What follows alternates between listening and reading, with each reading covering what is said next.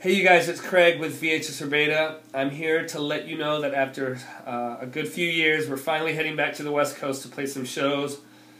A lot to be excited about for us. We're going to be joined by some really awesome artists and some good friends. Um, so we're eagerly waiting to get out of this New York City winter and into your California sunshine.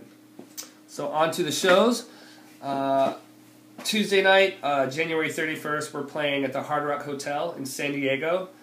Um, it's an RSVP event. You're going to have to go online. Uh, head, actually, head to our Facebook page. There's a link set up where you can just click it, and it'll take you straight to the page where you fill out all your personal information to get on the RSVP list. Uh, then we head up the coast to uh, San Francisco, uh, February 2nd.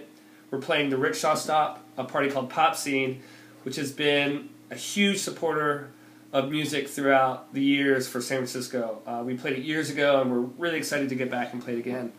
Um, that night we'll be joined by Benny, who's on Modular Records, I believe. Um, it's going to be an amazing night. Uh, Friday, February 3rd, we head to Santa Barbara. We're playing a club called Savoy with our good old buddy Tommy Sunshine, who remixed Night on Fire.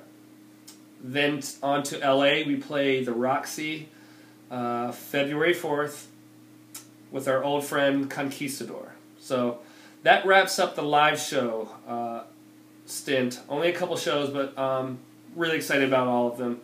Uh, if you are in these areas, we're playing some DJ sets.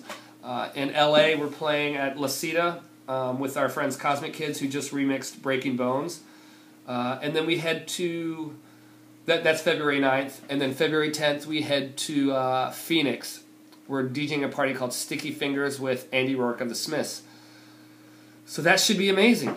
Um, thanks for watching this entire video, and I hope uh, to see you out there soon, you guys. Thanks again. Bye.